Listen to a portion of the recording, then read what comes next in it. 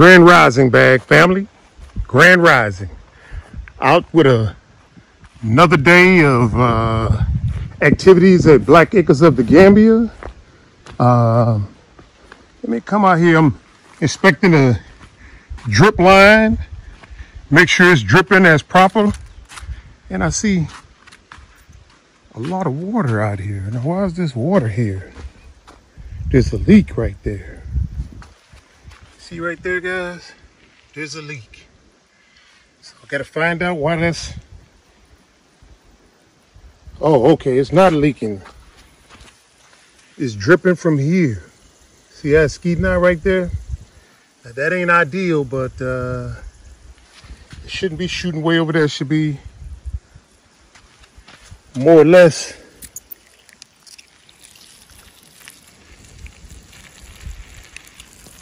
on the ground.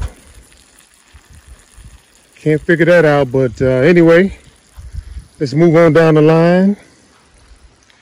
Everything is dripping as it should, with the exception of things like that, but we just have to adjust that. Solar panels are still kicking in. Sort of a gloomy day today. The sun hasn't kicked out yet and the workers haven't showed up, but uh, that ain't gonna stop us. None. And this is all the extra drip irrigation line that has been wasted. We're gonna find out a use for it by having a male-to-male connector to reuse this pipe instead of having all that wasted. Yes, we brought the contractors out to install our drip irrigation system and both contractors wasted this much. I say that right there uh, is about two hundred meter lines, two or more hundred meter lines of drip irrigation pipe that was just wasted. You know what I'm saying? If only we can hold these guys accountable and say, hey, for every dalasi that we waste, it comes off the contract to see if these guys will do a little bit better. You see right here is dripping, but unfortunately we didn't mix the right uh, components of manure to have something growing. So um, you can see the spots from the drip irrigation is dripping down here. That's good.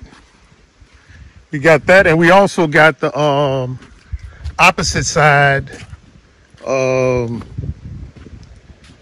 uh, filling up as well.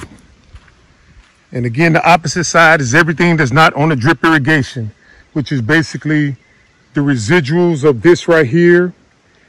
Brought a guy in, started showing us his certificates and flim flammed and, you know, shut up a good bunch of bull.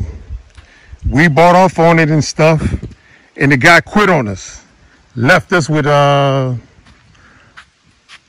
some junk. So anyway, we're gonna have the lady harvest uh, tomatoes today. You see the red tomatoes over there?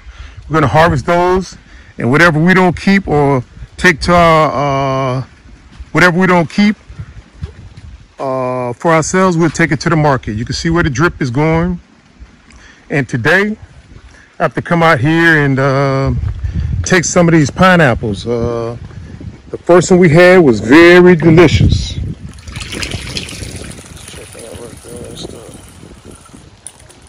The first one we took from our garden was very delicious.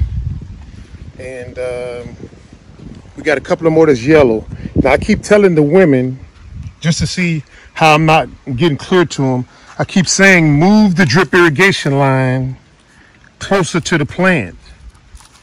When they come in and add manure and all this other kind of stuff, they keep the line away from the plant. So even though it's dripping, it's not getting directly on the plant. It's, it's, it's a wasted effort. You see all over there, it's a wasted effort, but uh, I don't know. We definitely got to communicate our um, purpose or uh, intention to the people a lot better. And don't say, well, we don't know the language because we know enough to get by and we do have translators and stuff. But anyway, uh, that's that's a topic for another video. We got three pineapples that look like they're ready to harvest. That's one. That's two. When they start turning golden yellow or brown or, or yellow, whatever, it's just time to take them. So that's three. That's three.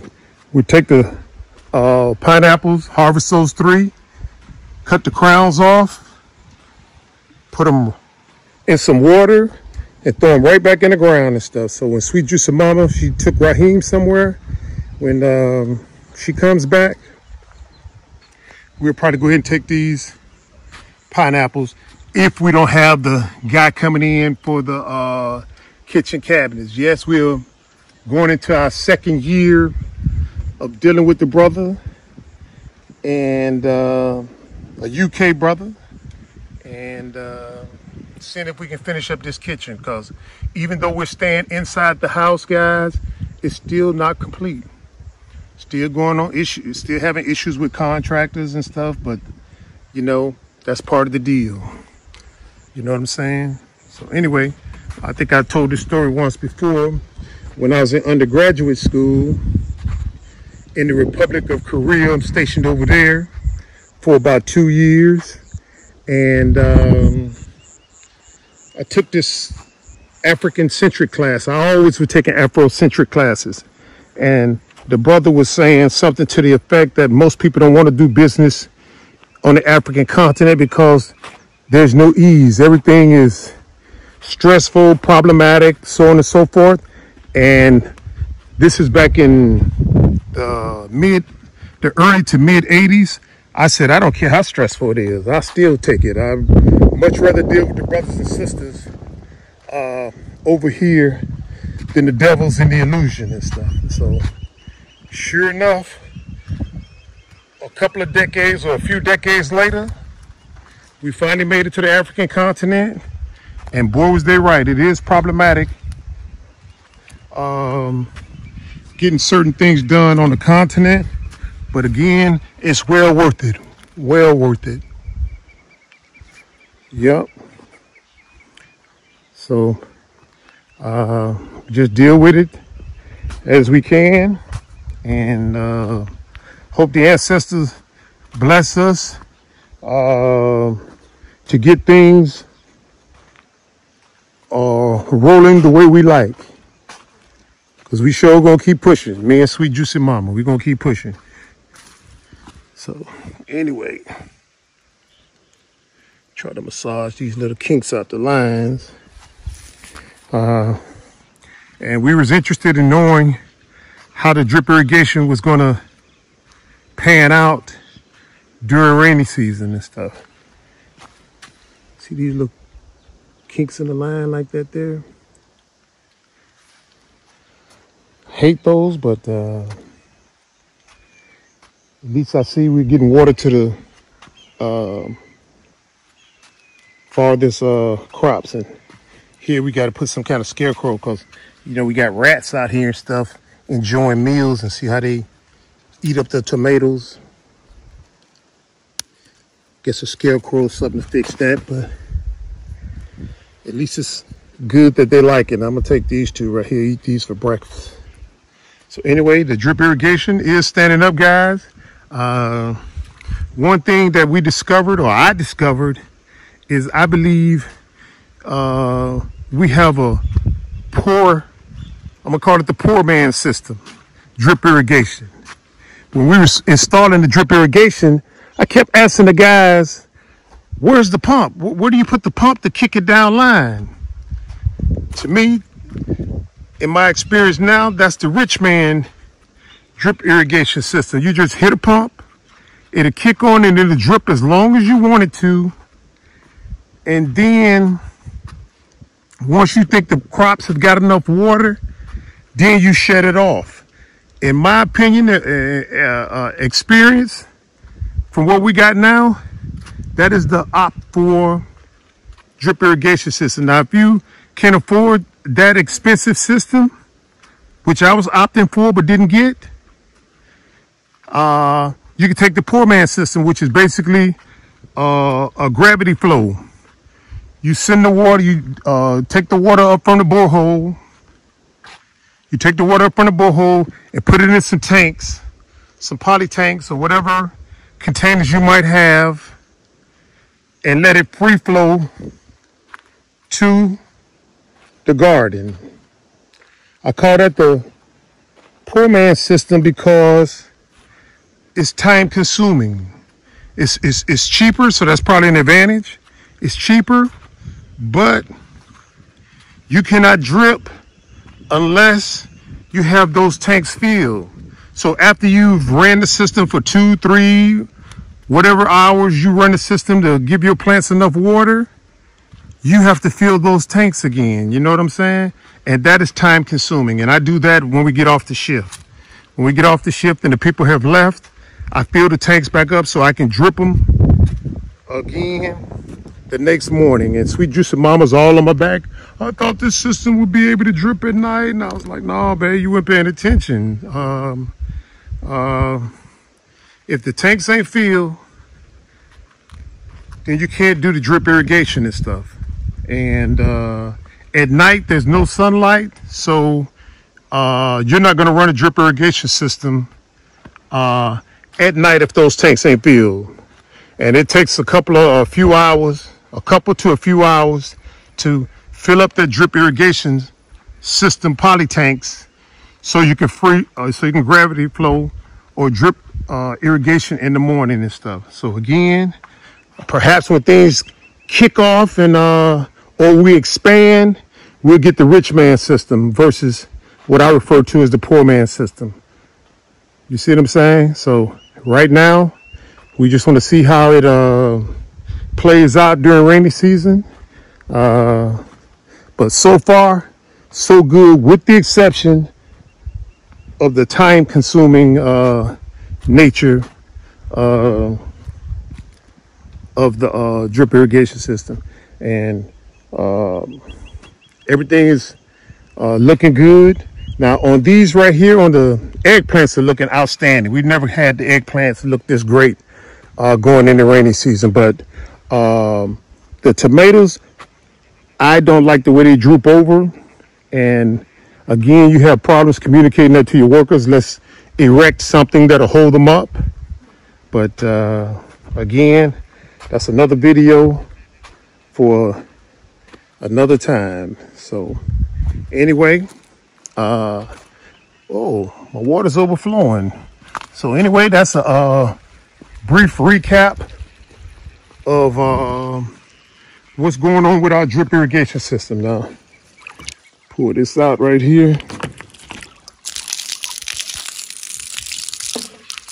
Stick it here. Or better yet, let me turn it off and it'll just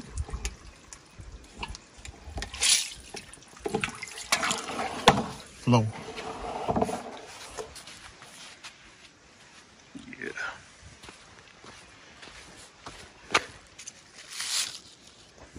All right. That one's filled. And this one's filled down here. These are the ones that I came out early enough and saw that they needed water. So I filled them up before the workers come. If the workers come.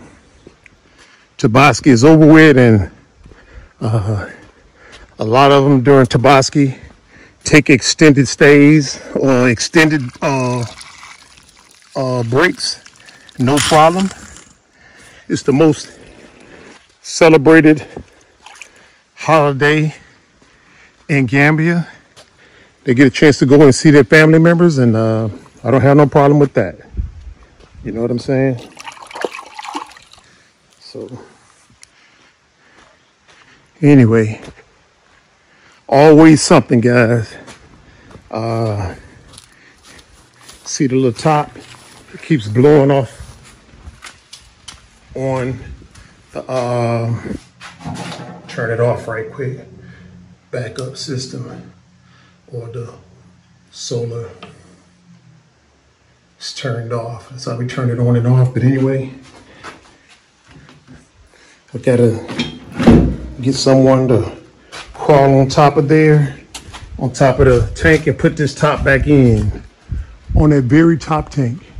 It blows off uh, periodically because when we bought the tanks, we called the manufacturer and said, hey, the tanks, the tops aren't fitting the tanks. And he said, oh yeah, they'll fit, you know, you just got to do this and that and anything to make a sale.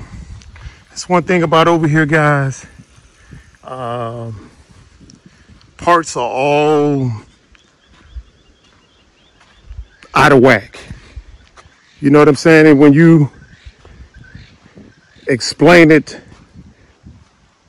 to the manufacturers and stuff, they're they're so used to providing substandard material to the people that you just basically have to suck it up and drive on. So I'm hoping with a mallet or something, we can put it back in and punch it all the way in where it won't fly off again. You know what I'm saying? Coming out of the tank. So anyway, um, that's what's going on this morning at Black Acres of the Gambia. Uh, waiting for the workers to come in if they show up uh, and see how the day rolls. Again, it's going to be a cloudy day, but the solar panels are working, so we do have enough uh, light out to um, do what we got to do. So let me get ready to take attendance as the people come in and um, give out the instructions on what need to be done today. Harvesting the uh, tomatoes and whatnot.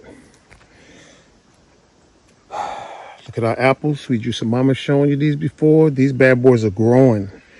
Just got to be delicate in the spot that we uh, put them in to ensure continuous growth.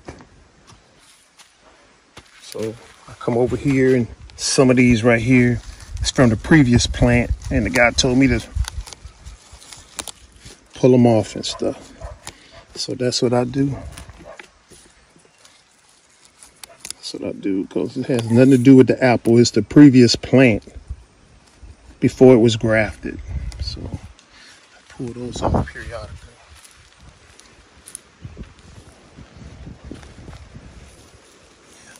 Put this off here and then we water these today and uh, see how it works.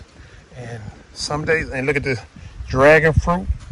Again, here we have to be meticulous in how we uh, plant these so not to damage the plants. And see how they're growing? When we first got it, it was just this. We lost one of the five that was sent. And I want to thank the sender again. We only had this plant. So you can see how it's expanded. We only had this one. One, two, three, three layers. And this one is curving over. So I got to get some trellises made so we can do an easy transition from these buckets to the trellises and stuff.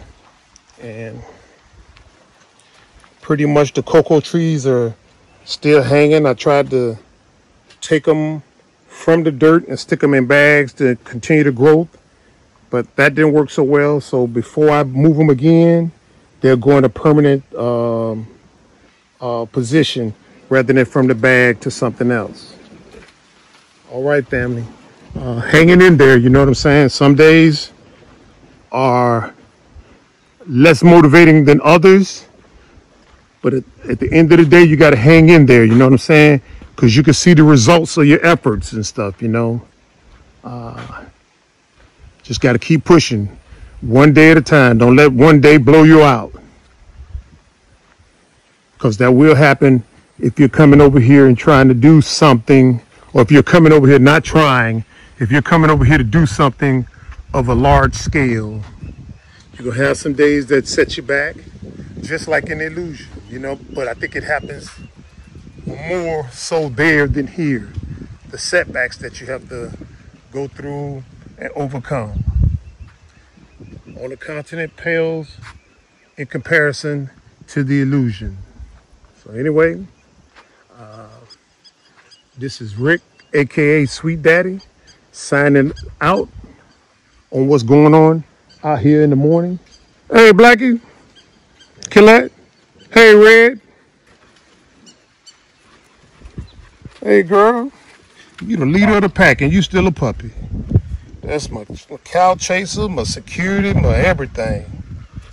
Yeah, oh, you want me to rub you now? Okay, okay. You deserve it, girl, because you the, you the top dog. All right, let me get out of here, family.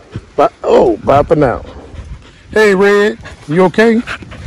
A lot of people have been asking us for pit bull puppies, and we think they're red.